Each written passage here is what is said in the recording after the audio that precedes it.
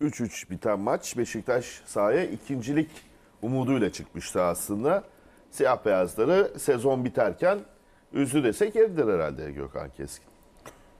Valla Beşiktaş haftalardır kovaladığı fırsat eline geldi. Fenerbahçe'yi geçip ligi ikinci bitirme şansı kendi elindeydi. İlk defa daha önce Fenerbahçe'nin elindeydi. Böyle bir ortamda maça çıktı. İlk yarı itibarıyla da alınan sonuçta istediğine de kavuşmuştu. Yani ligi ikinci bitiriyordu. Ama ikinci yarı öyle bir maç oldu ki her zaman çok daha iyi oynuyor dediğimiz ikinci yarıları Beşiktaş. İkinci yarı e, tanınmayacak haldeydi. Özellikle ilk 10-15 dakika e, Konya Spor geriden gelip bir de öne geçti. Beşiktaş bu sonuçta lig ikinciliğini de e, kaybetti. Hocam, Aynı zamanda Cenk Tosun'u da kaybetti. İstatistik de ekranda Beşiktaş bu maçta kalesine isabet eden 3 şut var. Üçü de isabetli, üçü de gol oldu. E, Zaten Beşiktaş'ın daha öncelerdeki hocalar döneminde Baksana, de problem buydu. İlk gelen top gol Konya Spor oluyordu. ceza sahası içinde Yani 35 kere buluşmuşlar. Beşiktaş ama ama maçın geldiği noktada hem Cenk Tosun'u da kaybetti hem lig ikincini de kaybetti. Uzun zamandır iyi oynayan Atiba herhalde şey pardon Abu Bakar Atiba'nın vedasında herhalde Atiba'yı geri plana itmemek için maça gelmemiş gibiydi bugün.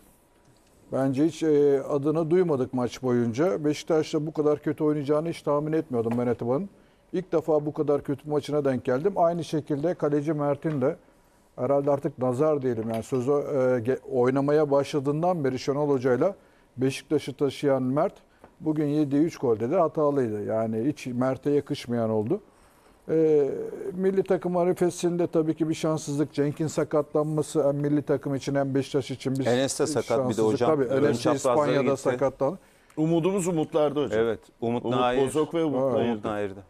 İnşallah e, artık lig bitti.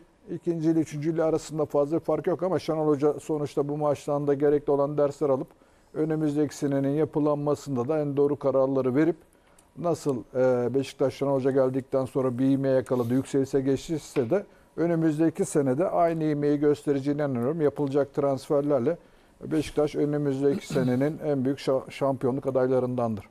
Sayın Başkan Ahmet Nur de e, saat 12 geçti. Bugün bir basın toplantısı yapıp sezonu değerlendirecek.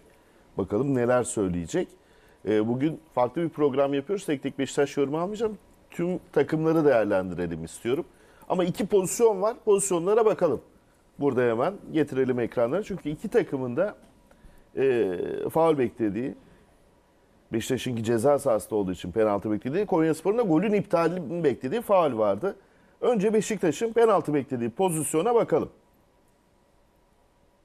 Jetson Fernandez yerde kalıyor. Burada devam kararı geldi. Hakem çok net bir açıdan izliyor pozisyonu. Beşiktaşlar da itiraz etti. Gökhan Hocam ne dersiniz?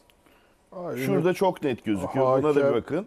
Ümit Öztürk herhalde maçta ben de varım. Kendini hatırlatmak istemiş.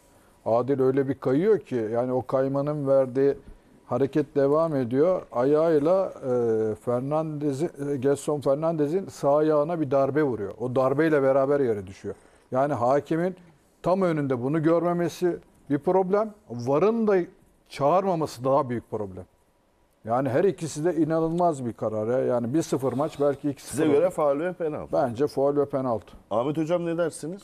Bence de çok net bir şekilde faul ve penaltı. Çünkü Getson Fernandes o anda topa basmak istiyor zaten. O bastığı Basıyor an- da zaten, Evet, bastı, bastığı anda da e, rakip arkadan çok kontrolsüz geldiği için net bir temas var.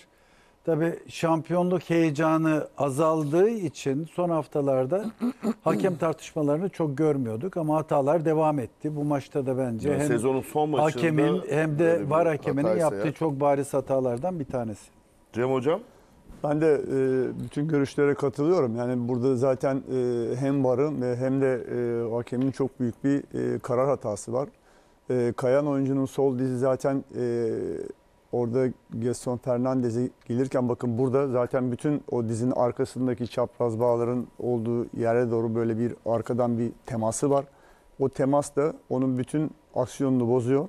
Ve ben de benim de görüşüm %100 bir penaltı. Bir de bir Ya- metreye yakın kayıyor Evet, gibi kayıyor, hocam yani. evet. Ayakla beraber bir metre kayıyor yani. Öbür ayağı temasla alıyor, beraber. Alıyor, götürüyor. Ayağı da beraberinde götürüyor oradan. Farklı bir görüş olması için söylüyorum. Bunu diyen de çıkacaktır. belki de çıkmıştır. Jason Fernandez'in de zaten dengesi bozulmuyor mu? Düşme halinde değil mi? Hafifletici sebep olarak. Acaba ondan mı vermedi hakem diye. Ee, Böyle bir şart koyayım ama ben de penaltı olduğunu düşünüyorum. kim mesela o, sen mi söylüyorsun biliyorum Hayır hayır diyor. böyle bir düşünce de olabilir. olabilir, Hani böyle- dağınık geliyor anlamında Evet. söylemeye çalışıyorum. Evet dağınık geliyor. Bence de esas Getson sarı kart çıkması gerek burada. Hocam ironi yaparak başladı. evet sarı kart olması gerekir. Ümit Öztürk bana göre onu atlamış. Getson kendini bıraktı diye. Yani hiç teması yok e, Adil'in. Hiç bak hiç bak teması yok görüyor musun? Hiç. Hocam ciddi misiniz? Ben Ondan ironi sonra- yaptığınızı düşünüyorum. Herhalde ironi yapıyorum ya. Ya daha ne olacak penaltı yani nasıl bir nasıl 10 küsurlu hareket yani Hocam kural ne mı bileyim, değişti? Hakemin açısı çok net. 10 kusurlu hareketten bu değilmiş demek ki yani. Bu değil. Ee, herhalde yeni bir e, formatladılar. Yeni bir güncellediler onu. Ya Ee, nasıl ben de hocam? şimdi bunu vermiyorsan bak şey inan Varda- Varda nasıl ironi inanmıyorsan yani? Var- inan var nasıl Tabii, çağırmıyor yani? Cem abi bak geçtim onu. Eğer sen bunun penaltı ona inanmıyorsan bu Doğru. kendini bıraktı attı. Yani O zaman biz git deriz ya sarı kart sahteden bıraktı yalandan attı. O zaman sarı kart göster. O zaman tam işte iş çığırında. Hadi göster. Tabii. Ya penaltı yüzde yüz penaltı tartışması hiç yani e, Serkan Tokat var hakemi o niye müdahale etmiyor? Hakemin görüş açısında olduğu için. onlar mi? da onlar da erken tatile çıkmış. Erkan Engin ve Ekrem Kan da avar. E, işte hem maçın hakem, varlar, avarlar hepsi tatile çıkmış. Ya hocam bence onlar doku, hani 10 kusurlu hareketi 3'e falan indirmişler. Bu yok. Bunu pa- pas etmişler yani. Ya diyorum ya hocam bak penaltı değilse Ümit Hoca'ya göre e tam sarı kart göster Ay, o zaman. şeyde çok Değil mi? güzel. Atıyor kendini ya topu Tabii. mesela Adil de topun kontrolünde açıyor. Topla rakip arasında vücudu var. Atıyor penaltı istiyor değil mi? Böyle 60 Getson. Onun için söyledim. Sarı kart göstermesi gerek. Bir daha o hatayı düşmüş esasen Ümit Hoca. Getson'a. Ya bak sen aldatıcı hareket yapıyorsun. Öyle fair play açısından sıkıntılısın saha içinde. Buyur sarı kart. Bu ayıp Bence ya. topa çok hakim değil ya Jason hocam.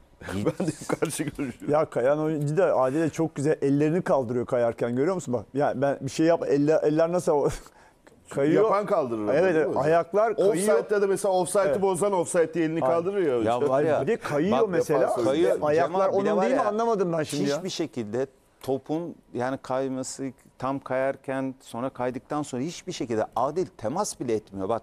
Hiçbir teması yok ya. Tertemiz. Ben buna yani bak şimdi Cüneyt hani öyle pozisyonlar bütün sene oldu. Topla karışıp Evet. vurur. Yani dersin ki ya topa değiyor sonra işte falan rakibine. Yani hiçbir şey yok ya. Hiçbir teması yok. Ee, eğer illa bir neden arayacaksak çok bariz hiç tartışılmaz penaltı. E, topa değdiği için belki hakem aldanmış olabilir. Değiyor mu hocam? Evet evet. Nerede Bacağın değiyor hocam? arasındayken bak, bak şurada. Yok. Hocam değmiyor. Değiyor değiyor önden bakın. Hocam silip süpürüyor orayı ya. Hayır Ya önce süpürürken yapıyor faul- indiriyor Ama adamı zaten. Yani İndirdikten süpürürken sonra topa topa değiyor ama adamı da, tartışılacak bir şey yok. adamı da süpürüyor Şimdi bir şey Hocam topa bulmaya hiç değmiyor. çalışıyoruz ya. Topa hiç değmiyor. İyi niyetli Topa hocam. hiç değmiyor.